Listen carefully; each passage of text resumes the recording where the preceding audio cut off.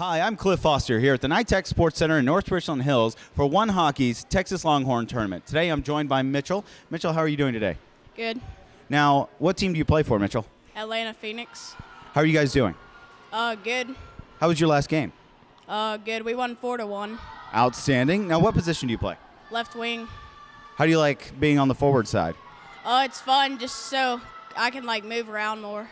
Now, do you prefer forward or do you prefer defense? Forward. Do you like scoring goals? Is that the big thing? Yes, sir. Did you have any today? Uh, no, sir. Now, have you played in other tournaments before? Yes, sir. What's your favorite about favorite thing about this tournament? Um, there's a lot of games and we play the same teams, so there's always different like results. Okay.